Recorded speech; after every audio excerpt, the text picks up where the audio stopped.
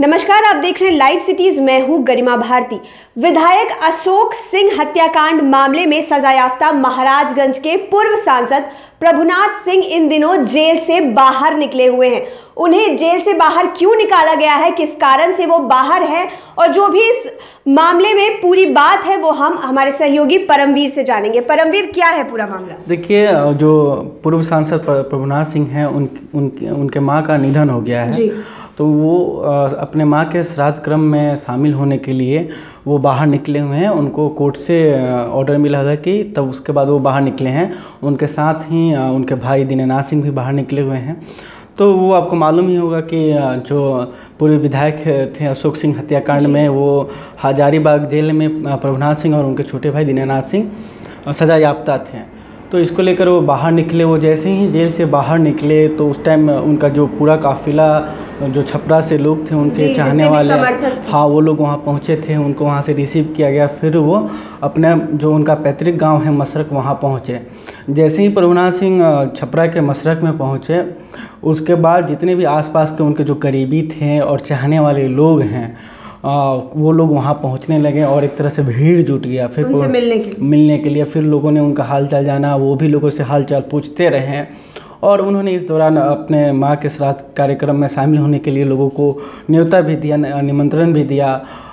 तो आपको जैसे मालूम ही होगा कि एक तरह से प्रभुनान सिंह एक ऐसा नाम है जिसको जिसको, जिसकी पहचान की कोई ज़रूरत नहीं है, क्योंकि एक तरह से वो कितने, कई दफ़ा वो महाराजगंज से सांसद रह चुके हैं और उनकी बिहार की राजनीति में बाहुबली के तौर पे जाना जाता है।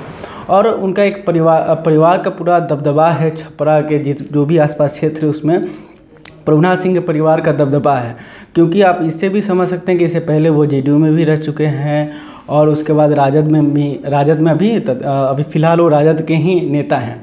वहीं जो उनके बेटे हैं रणधीर सिंह भी छपरा से विधायक रह चुके हैं। उनके छोटे भाई जो हैं अभी केदारनाथ सिंह अभी बनियापुर विधानसभा क्षेत्र से विधायक हैं। तो इन चीज़ इन सब बातों को आप देखते हुए समझ सकते हैं। मतलब जाना माना राजनीतिक परिवार, परिवार तो वहीं जो उनके अभी बेटे थे रणधीर सिंह वो इस बार राजद के टिकट से महाराजगंज से चुनाव लड़े थे सांसद का, लेकिन वो चुनाव हार गए थे। वहीं जो विधायक अशोक सिंह हत्याकांड का जो मामला है, उनकी हत्या उन्नीस सौ पंचानवे में हुई थी। यहीं पटना में, पटना पटना के उनके आवास पे बम से बम मार के उनकी हत्या कर दी गई थी। अच्छा। हाँ तो इसी आ, मामले में प्रभुनाथ सिंह और उनके छोटे भाई दीनानाथ सिंह अभी सजा याफ्ता हैं। आप इस बात को समझ सकती हैं कि उनका राजनीतिक दबदबा इतना था कि जब यहाँ पे पटना हाईकोर्ट में केस चल रहा था उसको ट्रांसफ़र करके हजारीबाग कोर्ट में ट्रांसफ़र कर दिया गया पटना से।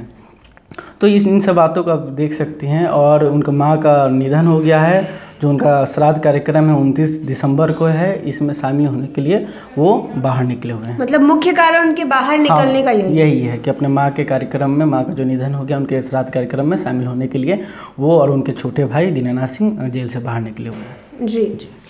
तो महाराजगंज के पूर्व सांसद जो कि अशोक सिंह हत्याकांड मामले में सजा याफ्ता हैं, वो इन दिनों जेल से बाहर हैं। उनके बाहर होने का कारण है उनकी माता का श्राद्ध कर्म जो कि 29 दिसंबर को होने वाला है।